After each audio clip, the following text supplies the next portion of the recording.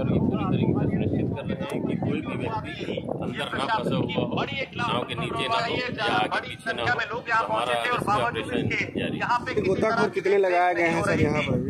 यहाँ पर तत्काल चार लोग जो थे वो- लग के पूरा रेस्क्यू ऑपरेशन किया है? और सभी को बाहर निकाल लिया है प्रशासन यहाँ पे अब पहुँचा लेकिन हादसे के बाद आलाधिकारी भी पहुँचते हैं जिला प्रशासन भी पहुँचता है हादसे से पहले हादसा ना वजह हो से तत्काल लोगों ने जी। हर बार देखा जाए तो वो मौके पर नहीं पहुँच पाते इससे बड़ी बड़ी दुर्घटना घट जाती है। जनता का कहना है कि 50 से अधिक नाव पर व्यक्ति थे अभी काफ़ी गंगे के गंगे में पानी मिले ये। ये अभी जाँच का विषय है। ये क्योंकि जो नाव चालक था वो यहाँ से फरार है।